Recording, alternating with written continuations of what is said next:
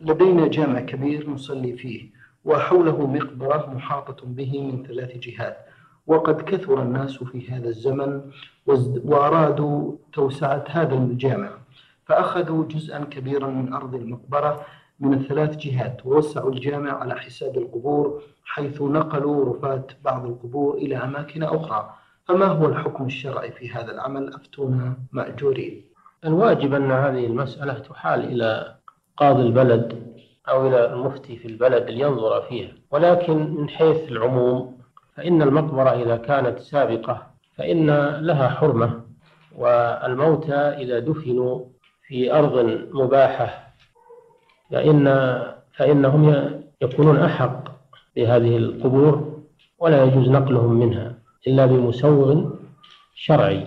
والمسجد يمكن أن يوسع من غير المقبرة أو يمكن أن ينقل إلى مكان أوسع من مكانه.